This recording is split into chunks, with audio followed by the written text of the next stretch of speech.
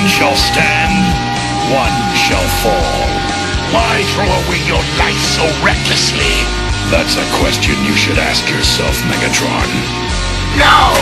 I'll crush you with my bare hands! Ah!